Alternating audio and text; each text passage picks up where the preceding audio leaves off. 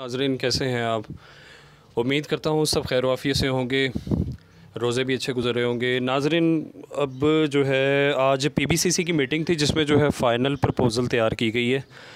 तो सबसे पहले तो जो है, मैं आपको बताना चाहूँगा, इसमें कैटेगरी वाइज जो कोशिश करूँगा कि आपके तमाम जो आपके माइंड में क्वेश्चन चल रहे हैं, उनको स्टेप बाय स्टेप हम डिस्कस करें और उनके आंसर करूँ। जो फ़ाइनल प्रपोज़ल है, उसमें सबसे पहले एक बुरी खबर है प्राइवेट कैंडिडेट्स के लिए। प्राइवेट स्टूडेंट्स के लिए। उस प्रपोज़ल में प्राइवेट स्टूडेंट्स को जो है वो कंसिडर नहीं किया गया। जो सप्लीमेंट्री स्टूडेंट हैं, उनको भी कंसिडर नहीं किया गया। जो मार्क्स इम्प्रूव वाले कैंडिडेट हैं, जो मतलब मार्क्स इम्प्रूव कर रहे थे मेडिकल में या अपने आई कॉम या एफ़ एस में, उनको भी जो है वो कंसिडर नहीं किया गया। और जो रेगुलर स्टूडेंट हैं, सिर्फ़ उनको कंसिडर किया गया है। मतलब रेगुलर स्टूडेंट कौन से हैं जो कि नाइन्थ के जिन्होंने एग्ज़ाम दिए थे? तो उनको नाइन्थ की बेस पे जो पास हो चुके हैं, अब टेंथ के पेपर देने थे टेंथ के पेपर दे दिए हैं, जिनका रिज़ल्ट एग्जीक्यूट नहीं हुआ मार्क्स उनकी मार्किंग नहीं हो रही। तो उनके हवाले से जो है वो ये ख़बर है कि नाइन्थ में जैसे उनके मार्क्स थे एज़ इट इज़ ही उनको टेंथ में प्रमोट कर दिया जाएगा। मैं दोबारा रिपीट कर रहा हूँ, जो नाइन्थ के मार्क्स थे, उनको एज इट इज़ी टेंथ में प्रमोट कर दिया जाएगा नाइन्थ की बेस पे। और इसी तरह, जो फ़र्स्ट ईयर के स्टूडेंट पास हो चुके हैं सेकेंड ईयर के एग्ज़ाम देने थे, उनके एग्ज़ाम रेगुलर स्टूडेंट्स के नहीं होंगे। मुझे हैरत है मतलब ये चैनल्स पे डिफरेंट मैं देखता हूँ, इतनी स्टूपिडिटीज़ करते हैं मतलब मिसगाइड कर रहे हैं लोगों को कैंडिडेट्स को। छोड़ दो, ये कर दो पेपर नहीं होने, ये नहीं होने। वो खुदारा, कम अज़ कम थोड़ा सा जो है, वो इंसानियत दिखाएँ। नोटिफिकेशन होने दें, कोई प्रपोज़ल कम अज़ कम कोई आने दें, उसके बाद जो है लोगों को बताया करें मिठाइयाँ बांटें, ये करें, लोग बेचारे स्टूडेंट जो हैं वो इतने कन्फ्लिक्शन का शिकार हैं कि उनको समझ ही नहीं आ रही कि हमने करना क्या है। तो जिनके जो है, हम उसको डिस्कस कर लेते हैं, जिनके चांस लास्ट थे और सप्लीमेंट्री मीन अगर किसी एग्ज़ाम्पल किसी स्टूडेंट ने इंग्लिश की सप्ली देनी थी फ़र्स्ट ईयर सेकेंड ईयर की तो उनका लास्ट चांस था तो उनको चांस दोबारा दिया जाएगा। आप अपनी तैयारी ना छोड़ें। मैं हमेशा आपको पहले भी कहता रहा हूँ कि ये तकरीबन जो है कैम्ब्रिज बोर्ड को अडॉप्ट किया जा रहा है। कैम्ब्रिज बोर्ड में भी ऐसे जो है प्रमोट किया गया। तो मैंने बार हाँ आपको कहा है कि इस तरह के फ़जूल चैनल जो आपने ज्वाइन किए हुए हैं, उनको छोड़ें। बिला वजह जो है, उनकी डिस्कशन का हिस्सा ना बने, आप कन्फ्लिक्शन का शिकार होंगे। आपको नहीं समझ आएगी कि करना क्या है। बिला वजह जो है वो रोज़ाना दस वीडियोस, पंद्रह वीडियोस बना बना के लोग फेंकी जा रहे हैं। उसका कोई मकसद नहीं है।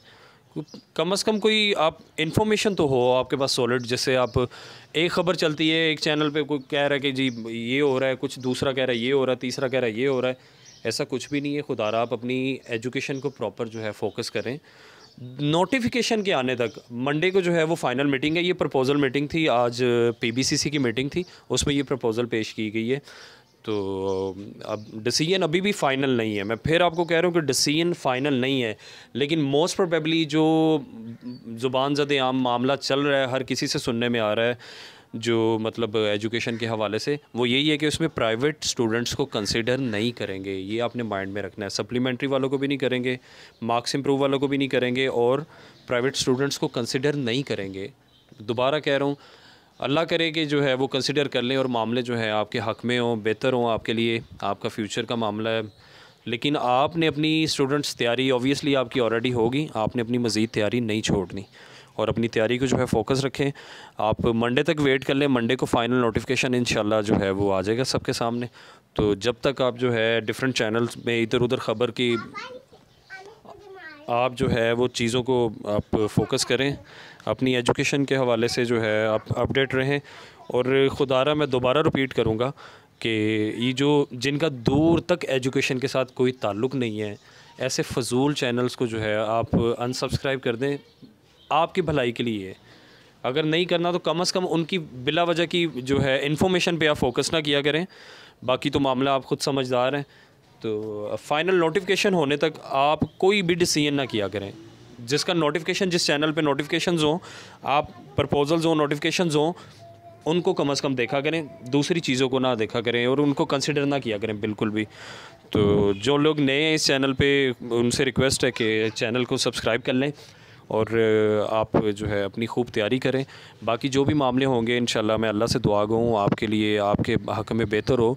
अच्छी ख़बर, बुरी ख़बर कोई भी नहीं होती। जो सिचुएशन है, उसके हालात और उसके अकॉर्डिंग जो है, हमने मूव करना है। हम हर चीज़ के लिए हमें प्रिपेयर होना चाहिए।